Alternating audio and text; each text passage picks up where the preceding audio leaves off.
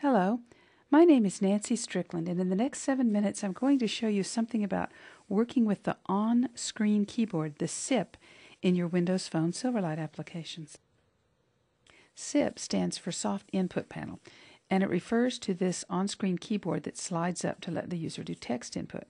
For example, it appears automatically whenever the user selects a text box by tapping on it. The standard layout's what you see here. It's a regular QWERTY character arrangement to get the numbers and symbols, you hit this ampersand 123 key. There's also a backspace key over here on the lower left, but there's no delete key. So the user can input any standard character, it just might take extra keystrokes. You can make it easier for the user to input data by setting up the layout of the SIP keyboard to one that's specifically designed for a particular type of input. Here's some of the alternatives. Default is the standard QWERTY for any kind of text input, what we just saw.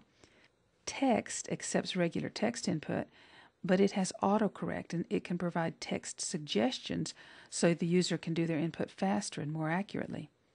If you select digits, the keyboard automatically starts with the numeric input layout displayed so the user doesn't have to switch to it. An email address here makes it easier for user to input an email address. Let's look at a demo to see how you could use these. First of all, let me show you the default keyboard and how it works. I'm going to start a new standard phone app from the Silverlight Phone templates. To get these templates, I did the setup that's described in the Getting Started video that's part of this series on MS Dev. Here's my basic starting project, and I'm going to add a text box. In the Properties window, I'm going to clear it out so there's no text in it when the app starts. And now I'm going to run it.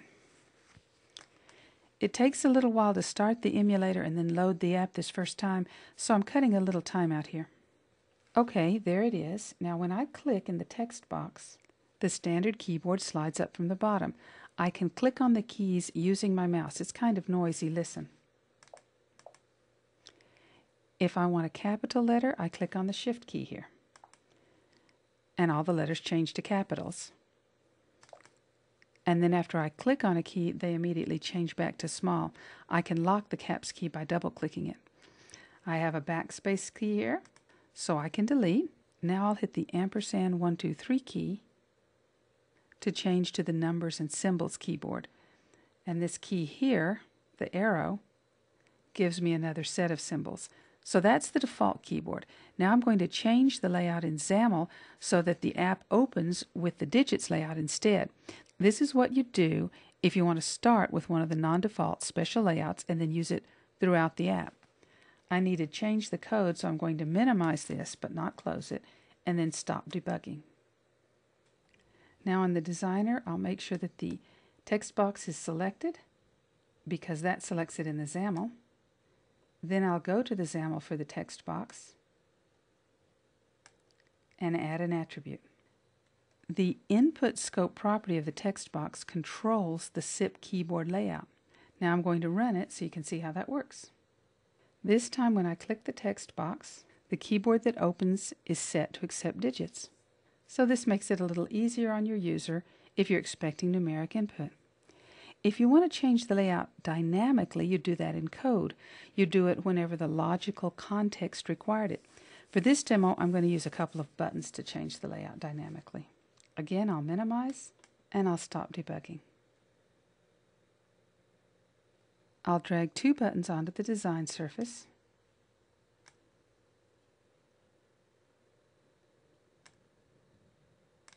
And I'm deliberately putting them up above the text box so that you can see how the phone handles it when the keyboard covers controls that are low down on the screen. I'm going to double click the first one here to create its click handler and I'll paste in this code. It instantiates an input scope object and then it instantiates a scope name with the property of text for its name value and it assigns that to the names collection of the scope. Now I'll go back to the design view and double click the other button.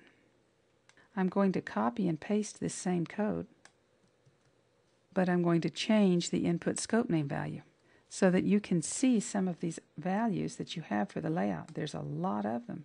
I'm going to pick email SMTP address. Now I'm ready to run it.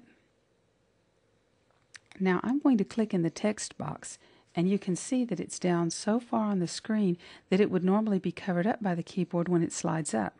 And it is for a second, but then the phone automatically scrolls the whole user screen up for you so that you can still see the text box. You do lose the title because it scrolls off the top. Now the numeric keyboard has come up because that's what we made the default in the XAML, but I'm now going to click this first button and then click in the text box again. Now the keyboard comes up in the QWERTY, and notice that it's all caps to start. As soon as the first letter is typed, it automatically goes small again, so it auto-corrects to capitalize the first letter of your input. Now I'll hit the H, and what happens here is that I start getting suggestions. I can click on one of them, and the keyboard types it in for me. Now I'm going to enter Friday, and I'm going to misspell it. When I hit the space after it, the phone immediately detects the misspelling and the fact that I didn't capitalize it and corrects it for me. So using this SIP layout speeds up the user input and makes it more accurate. Now I'm going to click the other button and then I'm going to click in the text box again. Notice there's some differences in this keyboard. I've got a dot .com key here and the at keys here, which I'd normally have to change to the other keyboard to get so I can quickly type in an email. I'll type in the first few characters, then the at symbol, then the domain, and then the com.